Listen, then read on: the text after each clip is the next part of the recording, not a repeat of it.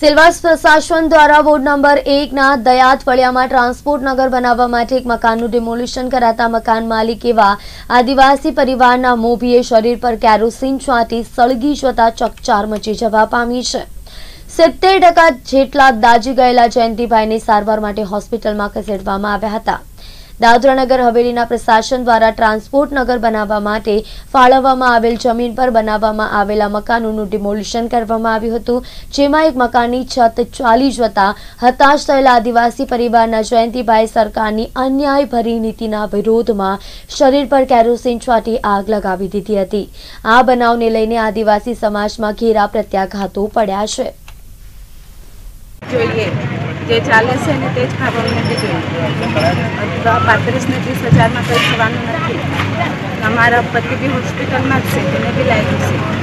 અને મારું નાખ્યું